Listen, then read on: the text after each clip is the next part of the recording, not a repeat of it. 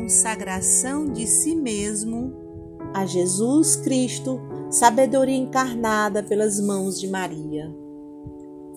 Ó sabedoria eterna e encarnada, ó amabilíssimo e adorável Jesus, verdadeiro Deus e verdadeiro homem, Filho único do Pai eterno e de Maria sempre Virgem, adoro-vos profundamente no seio e nos esplendores de vosso Pai, durante a eternidade e no seio virginal de Maria, vossa digníssima Mãe, no tempo de vossa encarnação.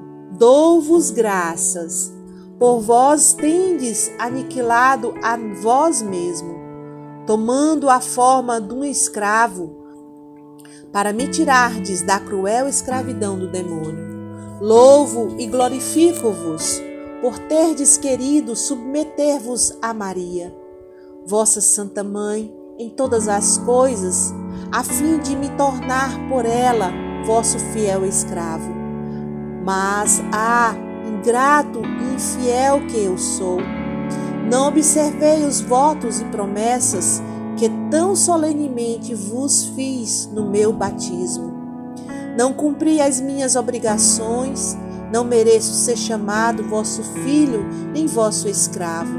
E como nada há em mim que não mereça a vossa repulsa e a vossa cólera, não ouso mais por mim mesmo aproximar-me de vossa santa e augusta majestade.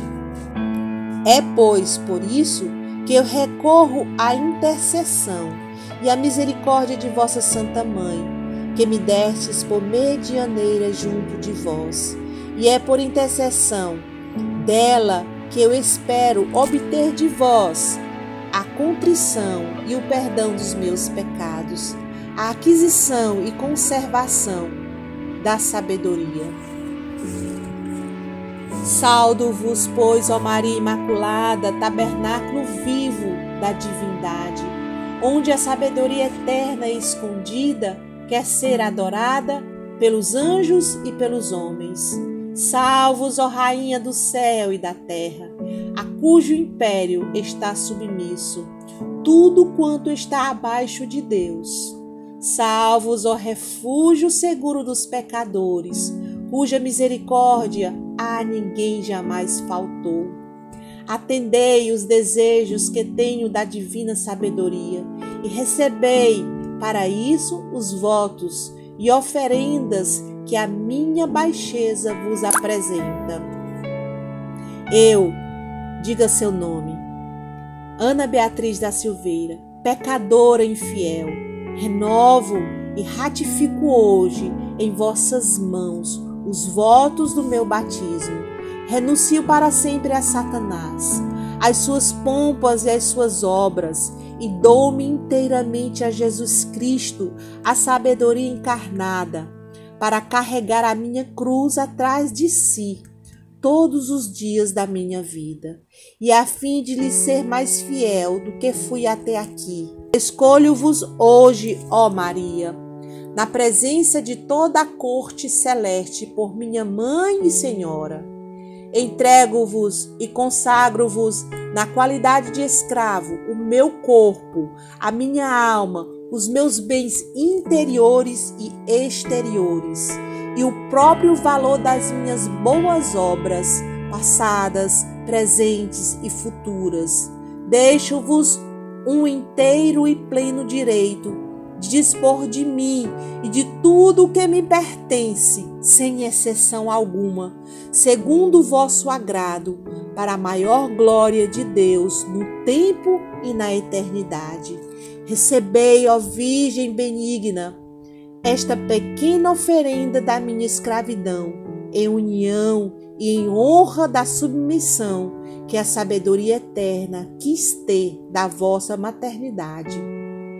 Em homenagem ao poder que ambos tendes sobre este pequeno verme e miserável pecador, e em ação de graças pelos privilégios com que a Santíssima Trindade vos ofereceu.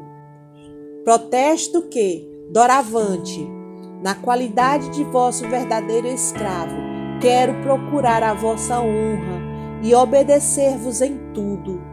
Ó Mãe admirável, apresentai-me o vosso querido Filho, na qualidade de escravo eterno, a fim de que, tendo-me resgatado por vós, por vós me receba.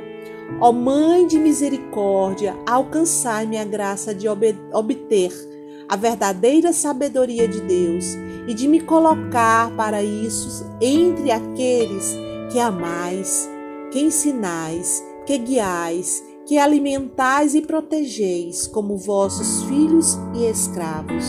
Ó Virgem fiel, tornai-me em todas as coisas um tão perfeito discípulo, imitador e escravo da sabedoria encarnada, Jesus Cristo, vosso Filho, que eu cheguei por vossa intercessão e a vosso exemplo a plenitude de sua idade na terra e na sua glória nos céus. Assim seja. Amém.